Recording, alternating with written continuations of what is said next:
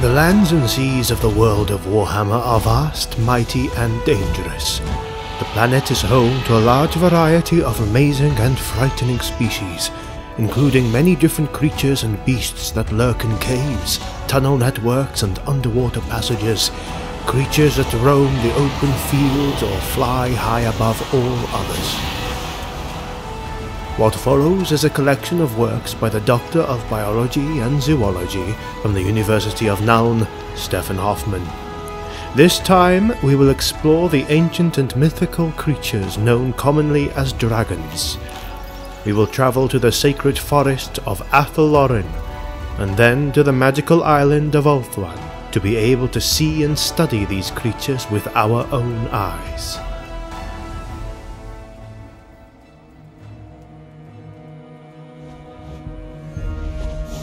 Dragons still live in the world.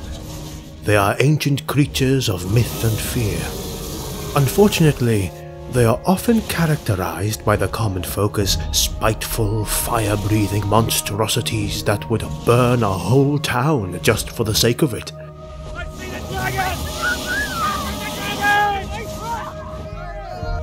Creatures that some believe are now thankfully extinct. This cannot be further from the truth. Dragons inhabit the deepest recesses of caves. They live in the middle of vast areas of greenwood, and they sleep in ancient tunnels and monumental halls. One of these locations is the place that the Wood Elves call their home, the glade and greenwood in Athel Loren's enchanted forest. Nothing stays here for too long without changing, and forest dragons are no different. This is a race of giant flying creatures that have made a home in the forest and have lived in harmony for a very long time. They have adapted to life within the Greenwood.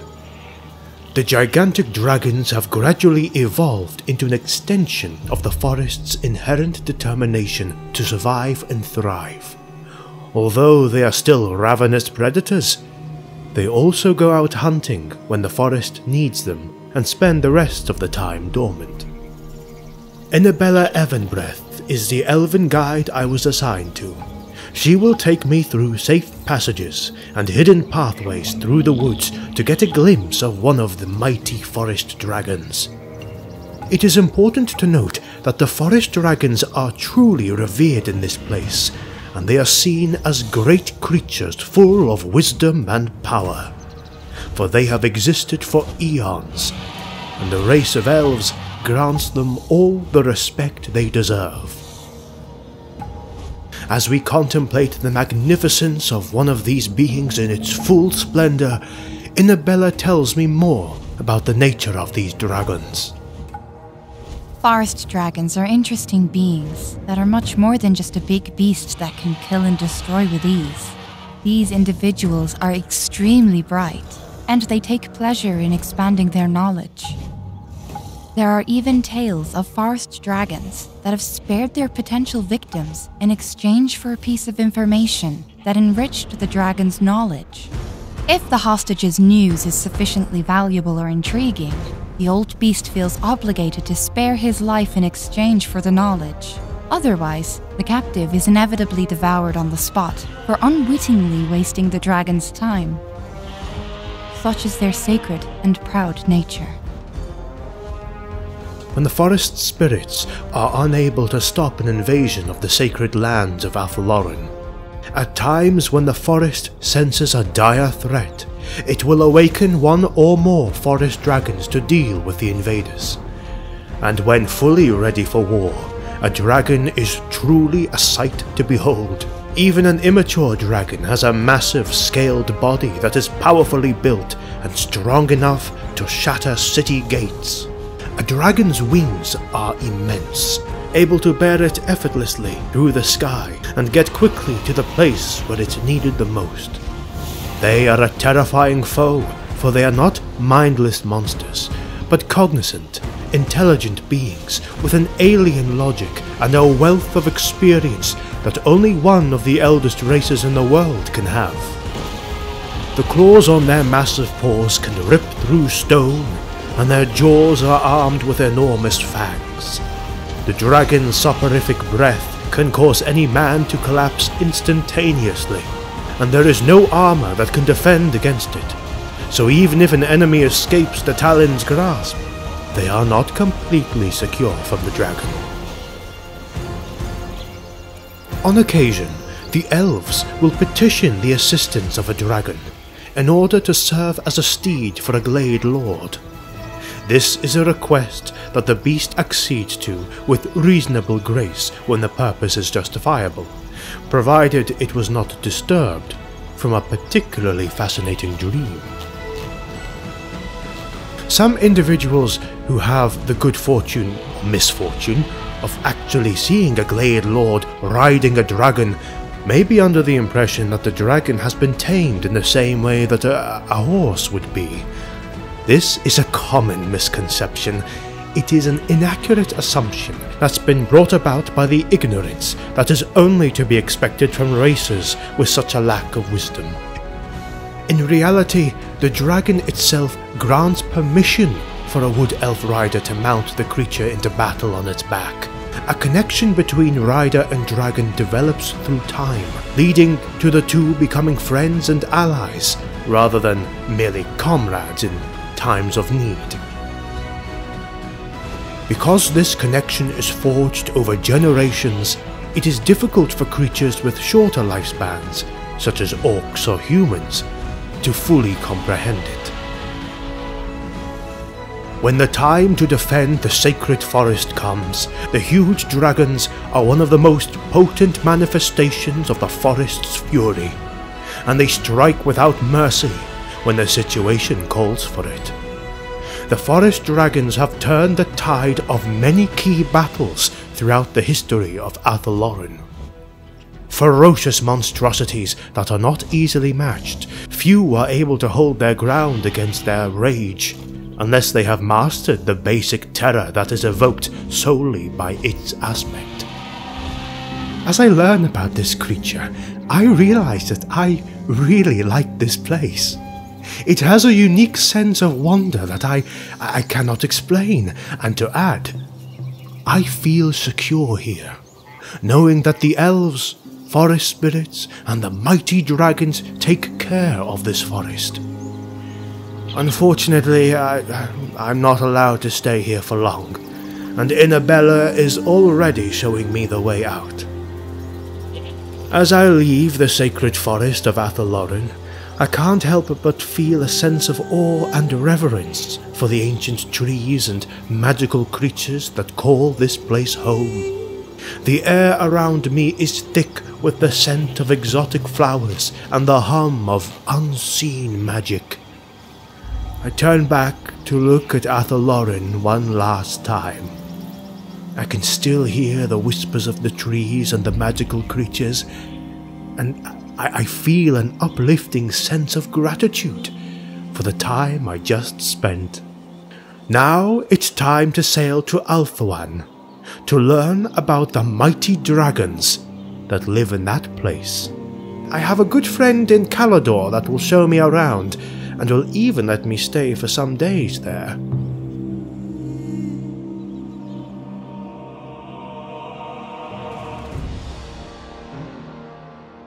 After days of navigation on a trip that was mainly without trouble, I catch my first glimpse of Ulthuan in the distance.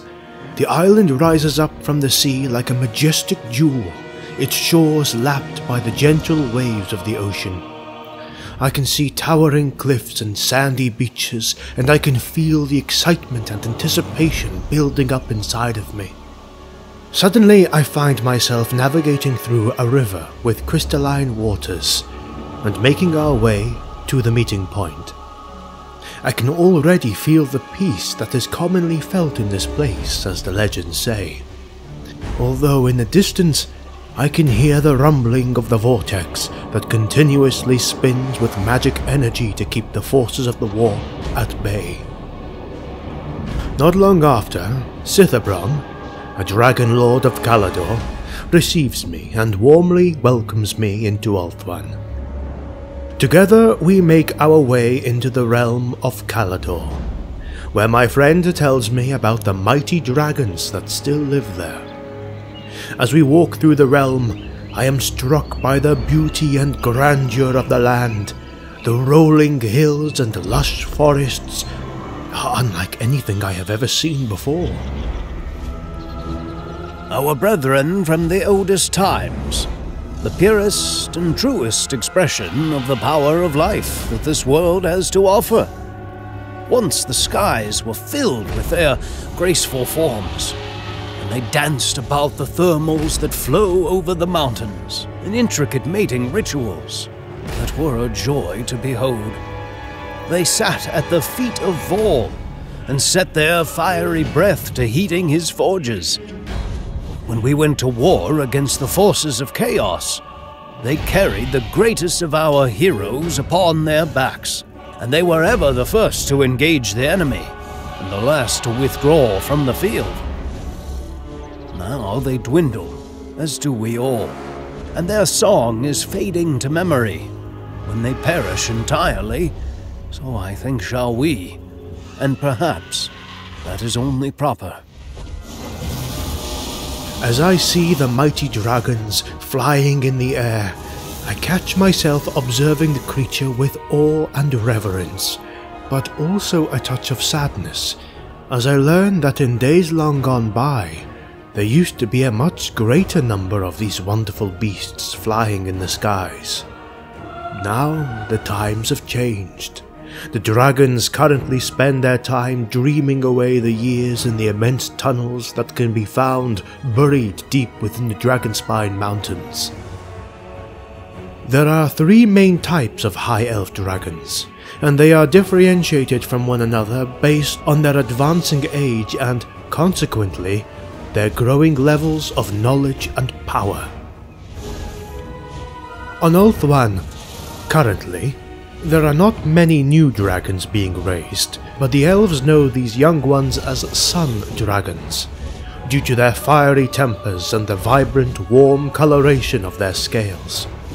It is known that the sun dragons can be awoken from their great slumbers faster than their older kin.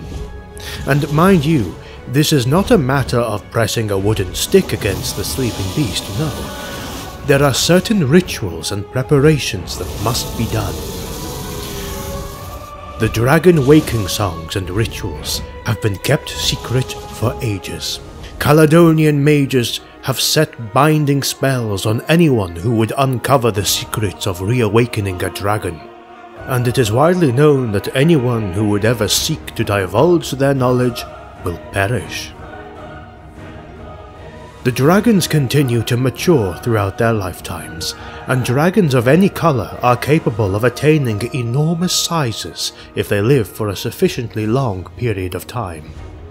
Those who grow older over the centuries are known as moon dragons, and are, of course, bigger and wiser than the younger sun dragons. They are so ancient that they were around long before the time of Aenarion the Defender, and participated in the battles against the demons that came from the first invasion of Chaos. The most ancient and potent of Ulthuan's dragons are referred to as star dragons, because they are essentially as old as the very same stars that make up the cosmos. These dragons are known for their great age and power, and are even capable of fighting against the most powerful of beings in existence, such as greater demons these dragons are known to have routed entire armies on their own on many occasions throughout history, and have changed the course of entire wars and events.